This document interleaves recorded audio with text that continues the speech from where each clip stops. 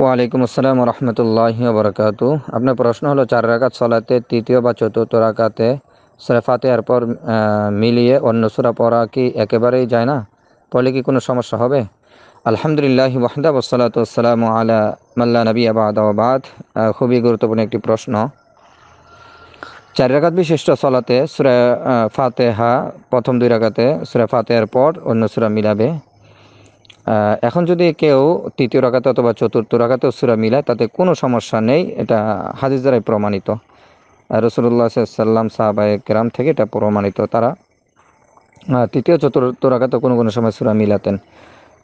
কেউ যদি শুধু দুই রাখাতে সুরা ফাতেহার পর সুরা মিলায় তার জন্য যথেষ্ট হবে। শেষে দুই রাখাতে শুধু সুরা ফাতেহা পড়লেই হয়ে যাবে। তবে সেখানেও যদি কেউ সুরা বা কেরাত পড়ে তাতে কোনো সমস্যা নেই। তার সলাৎ হয়ে যাবে এবং সে সুরা মিলানোর কারণে কোরআন পড়ার কারণে সে সবও পেয়ে যাবে ইনশাল্লাহ তবে যেহেতু রসুল্লাহ সাল্লাম সাহাবাই কেরাম থেকে প্রথম দুই রাগাতের পর সুরা মিলানোটাই অধিক হাদিস দ্বারা প্রমাণিত সুতরাং এইভাবেই করা উচিত। মাঝে মাঝে কেউ যদি আহ, সলাৎকে দীর্ঘায়িত করার জন্যে অথবা সলাতের মধ্যে প্রশান্তির কারণে যদি অতিরিক্ত আরও সুরা পরে তাতে কোনো সমস্যা নেই। সালাত হবে ইনশাআল্লাহ। আল্লাহ আলম